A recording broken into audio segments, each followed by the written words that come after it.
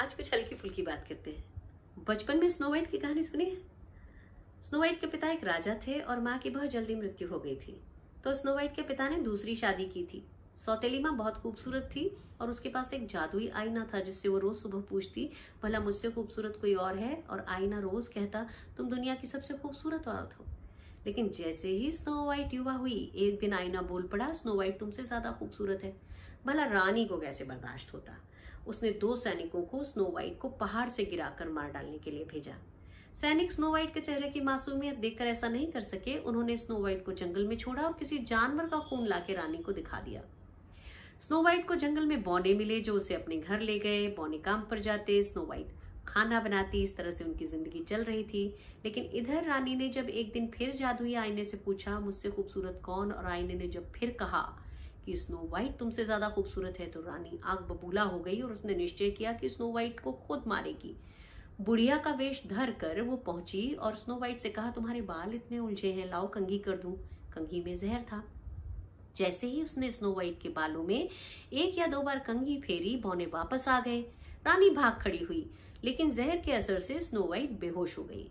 बोनो को समझ में आ गया कि कोई तो है जो स्नो वाइट की जान लेना चाहता है। तो आगे से जब भी वो बाहर जाते तो बहुत एहतियात से दरवाज़ा बंद करते और स्नो वाइट को कह कर जाते किसी को अंदर नहीं आने देना। बहुत सारे दिनों के बाद रानी ने एक बार फिर एक फल वाली का वेश बनाया और स्नो वाइट के पास जा पहुँची। बहुत ताज़ा सेब उसे दिखाया और उसे कहा, इसे खाना चाहिए। स्नो वाइट को किसी तरह बहला के उसने वो सेब खिलाया जो एक तरफ़ से जहरीला था। स्नो वाइट ने जैसे ही सेब खाया, वो बेहोश होकर गिर पड़ी। रानी तो भाग गई, लेकिन जब शाम को बौने आए तो वो बहुत दुखी हुए। उन्हें लगा स्नो वाइट मर चुकी है। लेकिन उसके चेहरे पर इतना ग्लो था कि उन्होंने उसे दफनाया नहीं, बल्कि एक ग्लास ताबूत में रख कर लिटाकर घर के बाहर रख दिया। बौने उसे अक्सर निहारा करते।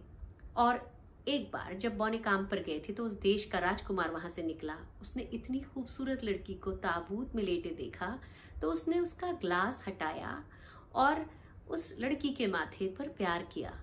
पता नहीं क्या हुआ, स्नो वाइट उठकर बैठ गई। और तब राजकुमार को रानी की धूर्तताओं का पता चला। ये भी मालूम हुआ कि रानी ने राजा को बंदी बना लिया है। फिर क्या था? राजकुमार ने पूरी सेना के साथ उस राज्य पर चढ़ाई की। रानी का वही हश्र हुआ, जो किसी भी कुटिल व्यक्ति का होता है। ये कहानी जब दोबारा पढ़ रही थी तो मुझे एक राजा बहुत याद आया। एक ऐसा राजा जो रोज सुबह पूछता है, भला मुझसे ज़्यादा लोकप्रिय कौन? भला मुझसे ज़्यादा ताकतवर कौन? भला मुझसे ज़्यादा प्रभावशाली कौन?